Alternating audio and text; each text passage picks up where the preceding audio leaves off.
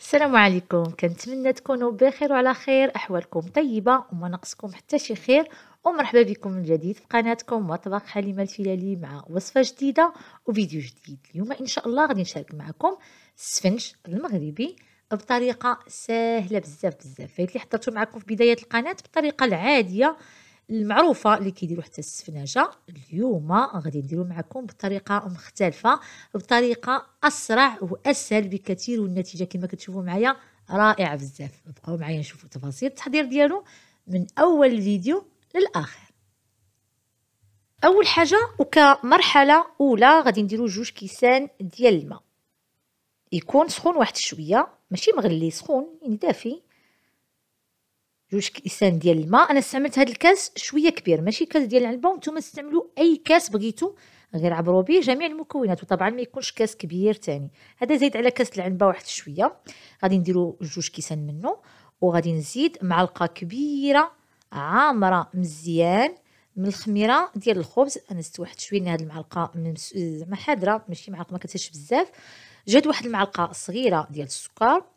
وغادي نزيد معاهم جوج كيسان. كذلك راني غربلتهم غير المقطع ما تصورش. جوج كيسان نفس الكاس ديال الدقيق يكون نوعية ممتازة باش النتيجة كتكون حتى هي مزيان. غادي نخلط كل شيء صافي. وكتكون هذه المرحلة الأولى. غادي نغطيو على الخليط ديالنا بعد ما كنخدموه مزيان. بالطراب اليدوي حتى كيمتازش وما كيبقاو ليناش هذوك الحبيبات ديال الدقيق كيبانوا كنغطيوه وكنخليوه يرتاح على خاطرو حتى كيتفاعل مزيان. هذا هو السر باش من بعد ما غنحتاجوش ندلكو بزاف وما غتبقى تاخذيناش العجينه وقت كبير أو طويل في التخمير. هاد الطريقة الطريقة فايت لي حضرت معكم بها شحال هذه آه، الدونات حضرت معكم بها البيني وكانت النتيجه زوينة بزاف وعجباتكم واعتمدتوها. قلت علاش ما نجربهاش حتى في السفنج؟ يعني نفس الفكرة. وفعلا عطات نتيجة زوينة بزاف غير جربوها غادي تعجبكم بزاف. صافي غادي نغطي وغادي نخليه على الجنب حتى كيتفاعل مزيان. غيديروا شوية الماء سخون هنا بدا كيبرد الحال واحد شوية. باش ما ياخذلكمش الوقت إلا كنتم مزروبين. ما كنتوش مزروبين ماشي مشكل.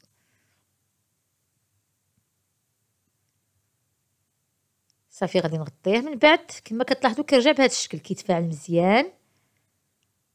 أنا خليته تقريبا واحد 15 دقيقة في بلاصة سخونة. كنزيد الملح يعني الملح ما كنديروش من الأول باش كيخلي الخميرة كتفاعل مزيان مع السكر. الملح لا حتى الآخر غادي نزيد جوج كيسان أخرين اللي كنكون غربلتهم ديال الدقيق. ومن بعد كنبقى نزيد شوية بشوية. هي من الأحسن ديما الدقيق زيدوه شوية بشوية في الأخير. تتأكدوا أن العجينه هي هذيك. كما هو معروف العجينه ديال الشفنج كتكون خفيفة. كما كتشوفوا عند السفناجة تتك كيخدموا بها كيحركوها كما بغاو. انها كتكون خفيفة كما كانت خفيفة كتكون ناجحة وكتعطي نتيجة مزيانة. كل ما قصحناها كتكون نتيجة ما زويناش لذا زيدوا شوية بشوية وأنتم كتحركوا. والطريقة الدليك ديالو راها معروفة. ماشي بحال الطريقة ديال الدليك ديال الخبز اولا ديال العجينة ديال البغيوش هي لا كتكون كنخدموها بطريقة مختلفة واحد شوية كما غادي تشوفوا معايا. يعني فايت لي درت معكم الطريقة بزاف ديال الوصفات اللي كتكون فيهم العجينة خفيفة. منهم الخبز اللي درناه في المقلة في العيد فكانت نتيجته زوينة وخدمناه بهذا الشكل. حتى العجينة ديالو كتكون خفيفة. حتى الشيار ممكن نخدموه غير هذا الشفنج كيكون خفيف أكثر منهم. صافي غادي نستمر زدت هذاك الدقيق كملت جوج كيسان وزدت واحد شوية أخرى. صافي بقيت كنزيد شوية بشوية حتى حصلت على العجينة خفيفة. هي هذه كما غتشوفوا معايا في الاخير العجينات طبعا كتكون كتلصق في اليد وغتقنطكم. إلا عندكم عجانة أو روبو كتخدموا فيه ماشي مشكل. أنا طبعا كنخدم غير بالنسبة دائما كتلاحظوا أنني كنستعمل يدي آه، لأن بزاف ما عندهمش العجانة فاش كيعرفوا الطريقة كيفاش يعجنوا خصوصا المبتدئات. صافي غادي نستمر. راه في ساع كتوجد ماشي بحال اللي كنديروها بالطريقة العادية. فهذه دغيا دغيا كنبقى نشوفوا أنها دارت لينا هذوك الفقاعات. اللي خاصنا تكون بهذا الشكل. يعني هي اللي كتنجح العجينة وكيجينا الشفنج ديالنا ناجح وكنعرفوا أنه تدلك. فدغيا دغيا غادي تلاحظوا أنه بدا كي يتشكل. صافي حبسوا غندير غير شوية ديال الزيت ندهنها ونغطيها من جديد. الشفنج خاصو يخمر مزيان. داكشي علاش ماشي بحال العجينة العادية اللي كنديروها بهذه الطريقة وكنخدموها في المملحات اولا في, في أي معجنات لا هذه خاصنا نزيدو نخليوها تخمر. غير هو الفرق أنها ما غتاخذناش الوقت بزاف التخمير. دغيا دغيا تغطيوها تغطيوها في واحد البليصة شوية سخونة غير واحد شوية تلقاوها طلعت ديك الساعة مباشرة غتشكلوها وغتبداو تقليو فيها. كما كتلاحظوا طلعات مزيان. أنا بصراحة راه خمرت لي أكثر من الجد. كما كتشوفوا. وكل ما خمرات كتكون حسن. خداتي تقريبا أنا حطيتها في, بليصة سخيخه يعني جيت البوطة كنت شاعلها واحد 20 دقيقة كانت واجدة. أما لا الشفنج اللي عجنتوه بالطريقة العادية فكياخذ الوقت شوية في الخميرة ديالو. كندهنو يدينا دائما بالزيت لأن العجينة خفيفة. ضروري الزيت سينها تلصق لكم وتعذبكم. وكنشكلوا كويرات على حساب الرغبة. الا بغيتوهم كبار أو صغار ماشي مشكل. نتوما والرغبة ديالكم. درتهم شوية كبار. وبالنسبة للدقيق في المجموع تقريبا واحد 600 غرام. اللي دخلات لي. لأن الكيسان عندي شوية كبار. إلا درتو الكيسان العاديين فغيكون واحد نص كيلو تقريبا. صافي غادي نستمر كنقاد كويرات وأنا دائما كندهن يدي بالزيت وكنحطهم في واحد البلاطو أو صفيحة اللي مدهونة بالزيت مزيان باش ما يلصقوش من نبغيو نهزوهم ما يعذبوناش. صافي كنكونوا دايرين المقلة لأن بهذه الطريقة مباشرة خاصنا نقليهم ما خاصناش نخليهم يرتاحوا لأن غادي يخمروا أكثر من القياس وما يعطيوناش داكشي اللي بغينا. إلا عجنتوهم بالطريقة العادية كنخليهم يرتاحوا واحد شوية. صافي نكمل. هو عطاوني أنا تقريبا واحد السعود وأنتم على حساب الحجم اللي درتو. ماشي مشكل ديروا الحجم اللي بغيتو. صافي كما كتلاحظوا كنتأكد أنهم ما لاصقينش مزيان ودهنا الصفيحه ديالي اولا البلاطو. بالزيت كنمشيو مباشرة كالعادة نفس الطريقة اللي شفتوا معايا من قبل جوج مقالي. شحال هذه بداية القناة كنت قلت لكم كاين بعدين بعض الأخوات استغربوا علاش جوج مقالي؟ فأكيد خاصنا جوج مقالي إن النتيجة كتكون بهم ناجحة. فكنديروا واحد شوية في المقلة الأولى اللي كنحطوا فيها.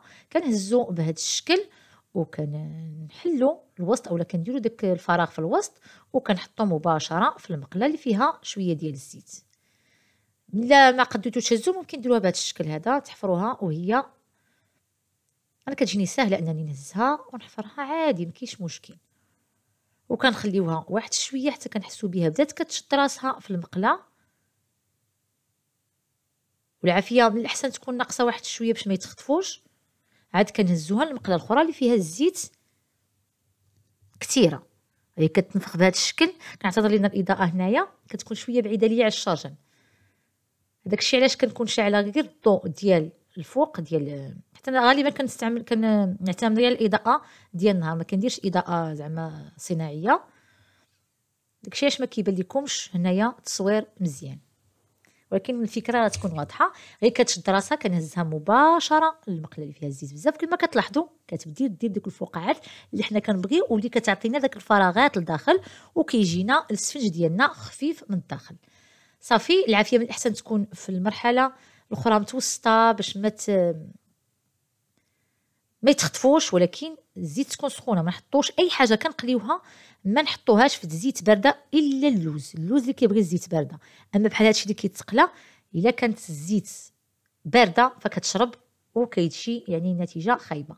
صافي غادي نستمر بنفس الطريقة. كي كنشوف هذه تحمرات من التحت كنقلبها للجهة الأخرى تحمر. غير كنقلبوها عاوتاني كتبان لينا أنها زادت نفخات أكثر صافي غادي نستمر. اي كنحس بهذوك شدوا راسهم في المقلة كنهزهم الجهة الأخرى. أنا كنمشي معكم شوية بشوية يعني ديت غير بوحده غير باش تركزوا معايا أكثر وتعرفوا تفاصيل مزيان كيفاش كنقليو. الشفن ديالنا لأن القلي عنده دور كبير باش ينجح معاكم. صافي غادي نهزها مباشرة لواحد الغطار أو الطبسيل اللي فيه الورق ديال الطبخ أولا شبيكة ديال inox باش يسقطر من داك الزيت اللي زايد وراه ما كيجيش نهائيا شارب الزيت. صافي غادي نستمر بنفس الكيفية كما كتشوفوا. كنحطوها كتزيد تنفخ في المقله وهي كتحمر كنقلبوها للجهة الأخرى تحمر كذلك. على حسب الذوق ممكن يعني الا بغيتو كاين اللي كيبغيها تجي مقرمله ومحمره نيت حتى ملي كنا صغار وكنمشيو لعند السفناج كنقولوا عطيني هذيك على حسب الذوق ديالك. اللي كتبان لك شوية مذهبه كاين اللي كيبغيها مثلا محمرة أكثر من القياس نتوما والرغبة ديالكم. راه غير الاضاءه ما كتبينش صراحة الشكل مزيان واللون ديال السفنج كيفاش خاصو يكون أو كيف درتو أنا. غادي نستمر حتى كنقلي الكمية اللي عندي كاملة راه ما كياخذش نهائيا الوقت ودغيا كيوجد. يعني كان كنت كنشوف السفناج اللي عندنا في الحومة كيدير واحد آه، اش غادي نقول لكم؟ ما عرفتش هذاك الشيء يتسمى برميل كبير عامر بالزيت وكيبقى يقلي فيه وكيفاش كيتحكم في ذاك العدد الكبير كامل. بان لي هذه اللحظة كندير بحالو ونستعمل القطيب ديال الشوا ونهز فيه حيت كنت كنشوفو كيهزو القطيب ديال الشوا. وبغيت نجرب كيفاش زعما شنو هو الفرق فأكيد نتيجة رائعة بزاف ناجح وكما لاحظتوا طريقة سهلة في التحضير. حضروه في داركم. أكيد غيفرحوا به وليداتكم لأن يعني ولادي كيحماقوا عليه وكيتمناو لو كان يبقاو ياكلوه ديما. كتشوفوا عن قرب كيفاش كيجي حاولت نقرب لكم كنتمنى يكون التصوير يعني والكاميرا عطاتهم حقهم كيفاش كيجي عن قرب. يجربوه وتبعوا الطريقة كما هي. أكيد راه ينجح معكم وما كرهتش طبعا. تخليوا لي les commentaires ديالكم تعاودوا لي على ذكرياتكم. طبعا الناس ديال الزمن الجميل والطفولة الزوينة اللي كانت أشياء بسيطة كتفرحنا بزاف. شكرا لكم دائما على الدعم والتشجيع وإلى اللقاء فيديو وصفة قادمة إن شاء الله. مع السلامة.